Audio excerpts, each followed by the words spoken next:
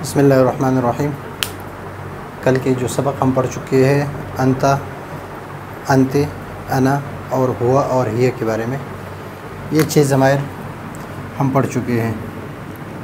अना, यानी मैं। अंता, यानी तू।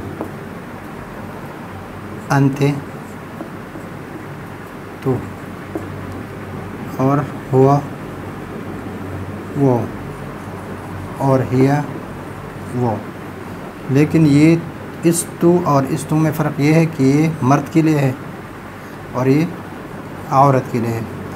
इस तरह ये भी मर्द के लिए है और ये भी औरत के लिए है।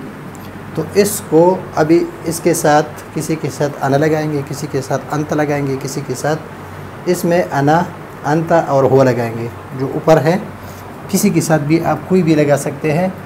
इसके साथ अन लगा दे या इसके साथ अंत लगा दे या इसके साथ हुआ लगा दे। किसी के साथ भी इन तीनों में से एक, दो और तीन।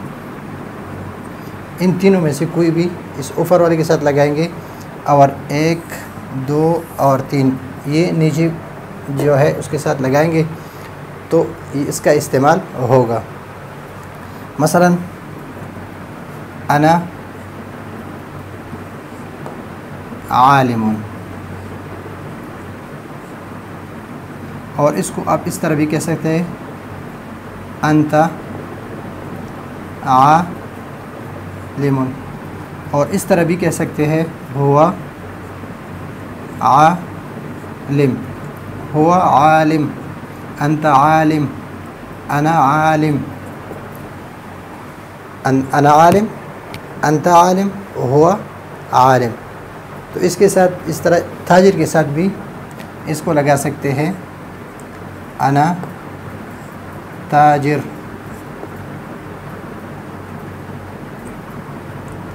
ताजिर कारोबारी या ताजिर भी उसको कहते हैं, तजारत करने वाले भी कहते हैं। अंता ताजिर, तू ताजिर है। हुआ ताजिर वह ताजिर है। आकिल अना आकिल अंत आकिल हुआ आकिल इसी तरह शरीफ को भी आप इस तरह कह सकते हैं। इसमें से कोई भी आप लगा लें, तीनों में से कोई भी किसी के साथ भी लगा लें तो सही है। इस वजह से मैं आपको ये बता रहा हूँ। कि मैं आलिम हूँ तो आलिम है, वो आलिम है। मैं ताजिर हूँ, तुम ताजिर हो, वो ताजिर है। मैं आकिल हूँ, तुम आकिल हो, वो आकिल है। अन शरीफ।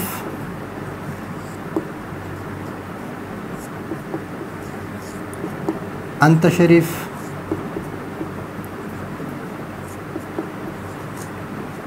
हुआ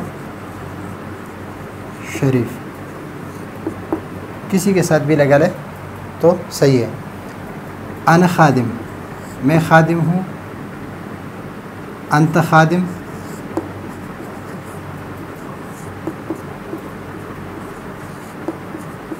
हुआ। खादिम। आप इनमें से इसके साथ अंत लगा लें या अन लगा लें या हो लगा दें इसके साथ भी इस तरह लगा सकते हैं, इसके साथ भी इस तरह लगा सकते हैं और तर्जुमा, अगर ये तर्जुमा करते हैं तो मैं आलिम हूँ, या मैं ताजिर हूँ, या मैं आकिल हूँ, या मैं शरीफ हूँ, या मैं खादिम हूँ, मुलाजिम हूँ।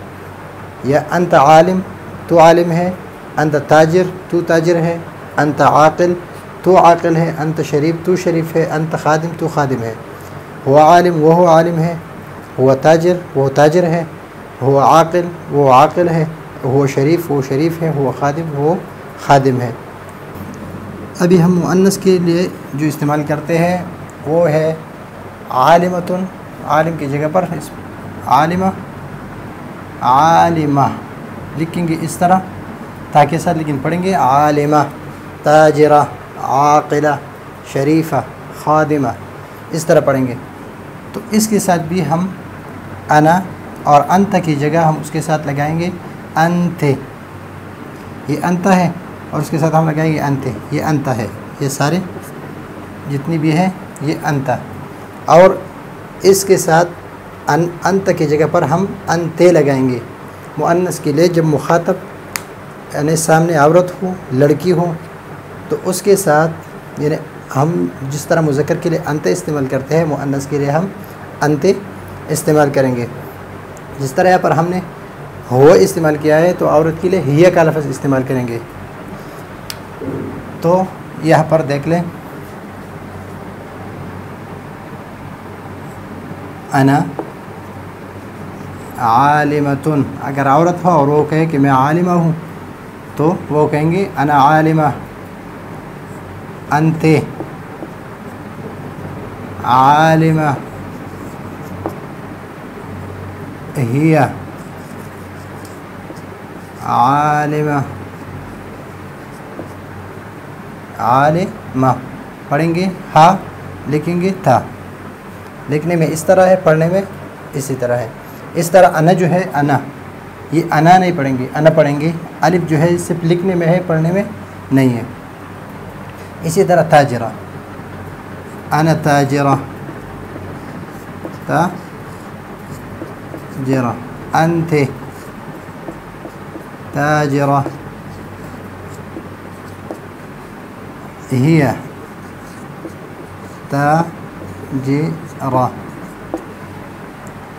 इसी तरह आकिला अना आकिला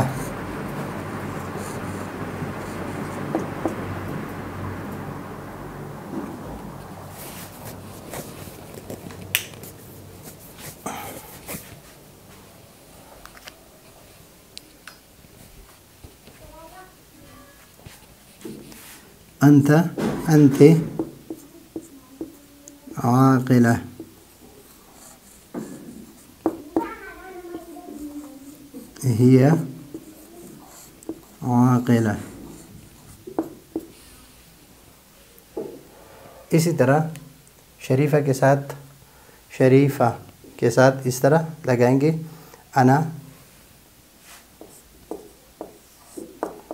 शरीफा अंते शरीफा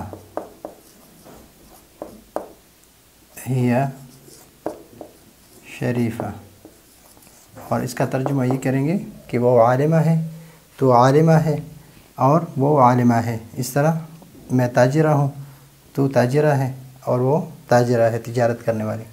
खादिमा, अना खादिमा। खा दे मा अंते खादिमा हिया खादिमा तो इस तरह इसमें से आप जिस चीज़ को पसंद करते हैं, यानी किसी के साथ अना लगा दें, किसी के साथ अंत लगा दें, इसके साथ हुआ लगा दें, इसके साथ अना लगा दें और इसके साथ अंत लगा दें, ये भी सही है। या इसके उलट लगा दें तो ये भी सही है और इसके साथ अंत की जगह पर अंत्य लगाएँगे और हो की जगह पर जहाँ पर हो लगता है, यहाँ पर वो वहाँ पे ही लगेगा। तो यह है आज का तरीक़ा से का सत्रहवा सबक और तमरीन है। तो अगले सबक के लिए इजाज़त चाहते हैं।